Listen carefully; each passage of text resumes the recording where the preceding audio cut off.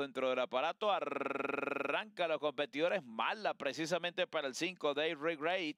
Se queda en el último lugar. Penúltimo para el 6, Incredible Sham. Saltar rápidamente por el centro el caballo el ejemplar Oh Just Don't Get It. A tratar de tomar la punta. Ataca por la parte interna Times Gone. Y por el centro de la pista Rick Wheeler.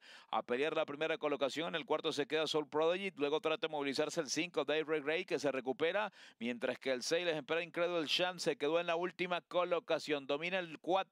Ataca por fuera Rick Wheeler en 23 exactos. El parcial para los primeros 400 metros. Time is gone. Está en el tercero. En el cuarto se moviliza el 5. El caballo Dave Ray Gray. Más atrás mejora bastante por dentro Soul Prodigy. Y continúa el 6 Incredible Shan en la última colocación. Por fuera Rick Wheeler. Pasó a la punta. Se queda en el segundo. El 4 atropella el 3 Time is gone. Y otro que mejora bastante por segunda línea es el 2. Este viene duro. Cuando ingresan ya a la recta final de Golden Gate Field. Domina Rick Wheeler. Pero ataca Soul Prodigy por tercera línea. Y por la parte externa Tyson Gone. Se defiende el 7 en la punta. Soul Prodigy. Y por fuera Tyson Gone contra el puntero. Se defiende el 7 en la primera colocación. Está crecido. Insiste el 3 para el segundo. Pero les gana Rick Wheeler. Ganó Rick Wheeler número 7.